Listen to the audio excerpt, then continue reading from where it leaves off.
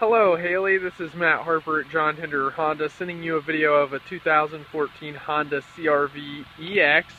This one's in the Mountain Air Metallic. I have this car in every other color. This just happens to be the one I grabbed. Um, as you can see, the EX, what sets it apart from the LX model is going to be the paint colored mirrors, paint colored door handles, upgraded wheels.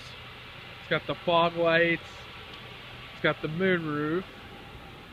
I'm going to come around the back here and show you something cool about the cargo space in the CRVs.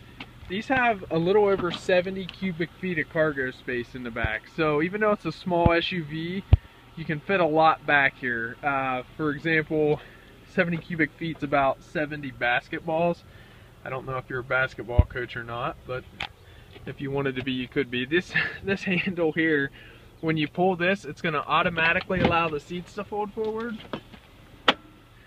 and it's a 60-40 split, so they'll fold forward on both sides. Just wanted to give you an idea of the cargo space. It's got the cargo cover, you pull that back, and you can hide cargo in the back.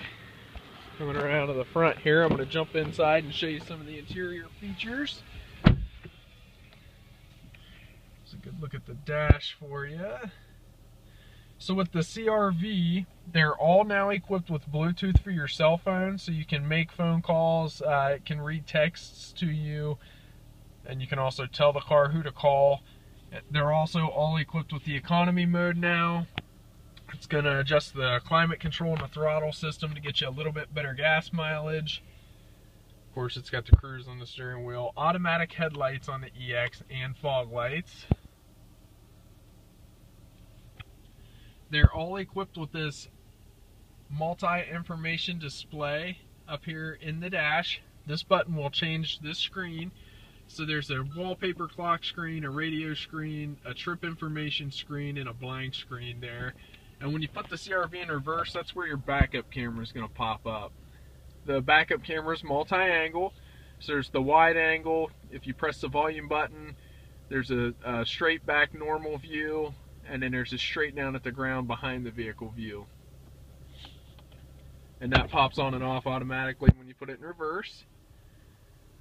Show you a good look at the dash and everything here. The center console no longer folds down, it's a solid center console. USB power outlet and auxiliary in there. It's a pretty deep area too, so you can put a lot in there. And the fabric's been upgraded in the EX as well. If you have any other questions, Haylee, about the 2014 Honda CRV, feel free to give me a call. Again, my name is Matt Harper. I'm the Internet Sales Manager here at John Hinderer Honda. I look forward to meeting you and showing you a CRV in person. Thanks for watching.